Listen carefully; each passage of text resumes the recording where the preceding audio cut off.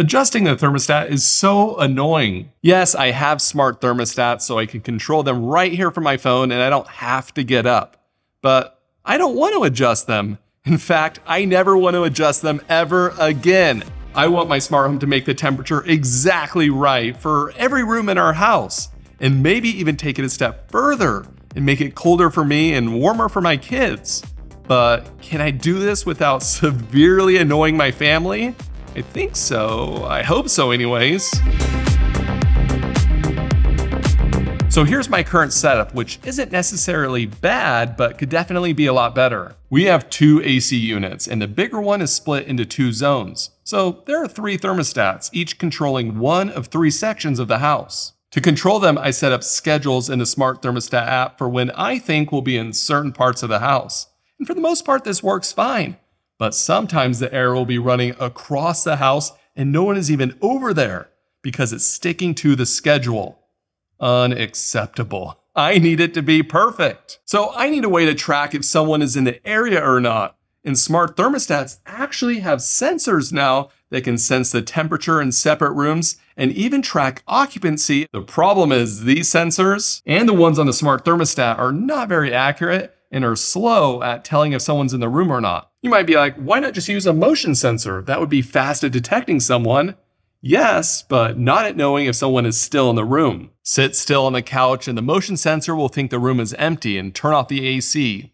Not great. There's actually a newish technology in the smart home space right now called millimeter wave, and these sensors that use it can map out the entire room and detect the slightest movements. You can be sitting on the couch and scratch your head or pick your favorite drink up and it will detect you. Perfect. This is exactly what I need. But what if I'm standing just outside the range of that millimeter wave sensor? Do I need to put more up and cover every square inch of the house? Those things are kind of expensive. Plus, what if Luna jumps on the couch and she's the only one in the room? Should I just blast the air just for her? Luna hates the cold air. She would be miserable. Clearly, some massive plot holes, and it's not the perfect setup I want to have yet. What I need is a system that's more precise. Maybe I combine the millimeter wave with something that can tell exactly where I am in the house. That's where room presence detection comes in.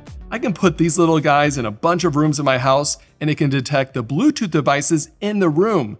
And these things are only about $5 each, so I can cover my entire house and not break the bank. That's exactly what I did. I put these little devices in almost every room of my entire house so my smart home knows exactly where I am. It's amazing. But do I need some kind of special Bluetooth tracker for this to work? Actually, you can just use things like my phone or my wife Allie's phone. What's really cool is if I put my phone on the charger, my smart home automatically switches over and starts tracking my Apple Watch and what room it's in instead of my phone, so I don't have to always carry my phone with me. It's pretty sweet. Well, what about other people in the house or creatures? Yes, I'm looking at you, Luna. Well, I added a Bluetooth iBeacon to her collar so we can make sure she doesn't sabotage my automations. And no, Luna, this isn't a house arrest tracker bracelet thing. Eh, okay, maybe it kind of is. Wait, what about my three little kids? Should I put a Bluetooth tracker on my little baby? I've thought about it because she's just crawling all over the place, but no, I'm not going to put any Bluetooth trackers on my kids. How am I going to track them though? Remember that millimeter wave sensor I told you about? Well, if it detects someone and there's no Bluetooth phone or watch in this room, then by deductive reasoning, I can probably guess it's my kids. After setting up the room presence detection, it's surprisingly very accurate, so problem solved at being precise.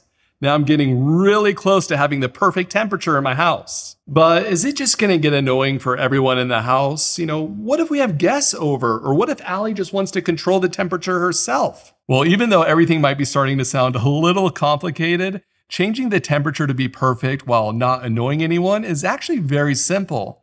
I have a really basic schedule for my smart thermostat now. There's only two things on it.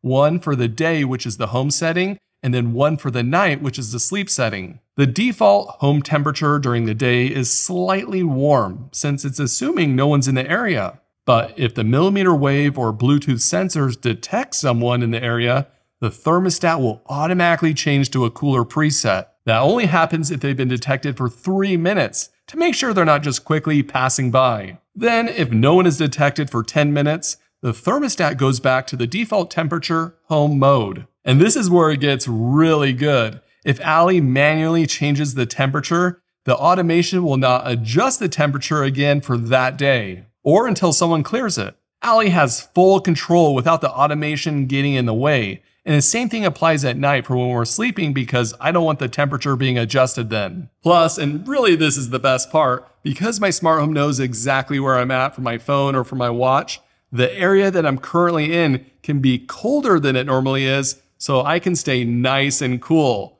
That way, this doesn't always happen. It's 100 degrees out there! No, it's freezing! Of course, all the thermostats go into away mode when no one's home because all the phones are disconnected from Wi-Fi. And just when I thought I finally figured out how to have the perfect temperature in my house, we walked in from being gone for a while. Ugh, it's so hot in here. Well, yeah, because it was off while we were gone and yeah, it's still not perfect. Let's rewind everything back and fix it. When everyone's gone and I get into my car, my iPhone can automatically trigger an automation when it goes into car mode. It will give me a notification with a button I can press, and when I press it, it will start cooling down my house so it's not all hot and muggy when I get home. It's so awesome and Allie approves. But if I was on vacation, wouldn't this be getting triggered all the time? Not if I have a vacation mode enabled, and that's something I'll be covering soon, so make sure you hit that subscribe button to not miss it. Now, after everything's set up, do I feel like it's perfect? Yes, I do. And I know that's a bold statement, but I never have to touch the thermostat now. It's amazing. I'm always comfortable. And my wife and kids have the perfect temperature set for when they're in the room, so they're extremely happy. Even Luna is happy. And I'm saving more energy because the thermostats are running less when we're not in that part of the house. Sure, it took some work to set it all up, but I love it. I have some videos on the second channel that go into more detail on how I set this all up. I also have some videos on smart thermostats that cover things like a higher temperature swing so you have less wear and tear on your system, and I'll link all those videos down below. Thanks for watching.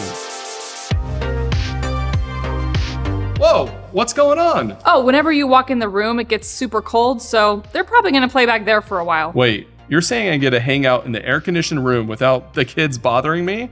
This is more perfect than I thought.